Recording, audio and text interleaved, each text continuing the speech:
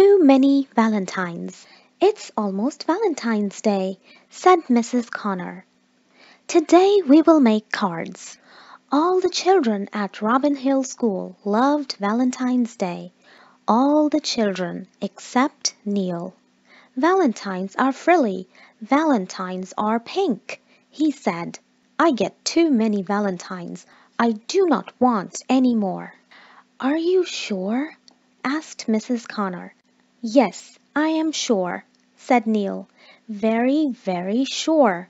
And that was that. On Valentine's Day, Katy gave Emma a frilly valentine.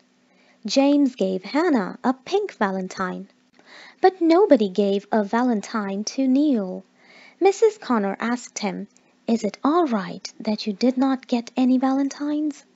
Yes, said Neil, it is great, but inside Neil did not feel great at all. On the playground all the children looked at their valentines. Neil looked at the swings. In the halls all the children read their valentines. Neil read a book. On the school bus all the children talked about their valentines. Neil talked about his soccer team, but nobody listened.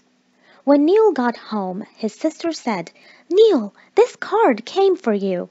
Neil opened the envelope. Inside was a valentine. It was not frilly, it was not pink. Roses are red, violets are blue. Every first grader in Neil's class signed the card. We thought you would be sad if there was no valentine for you. Hannah, Michael, Riza, Emma, Ian, James, Katie, Egan, Mia, Griffin. The next day Mrs. Connor asked, Did you get too many valentines, Neil?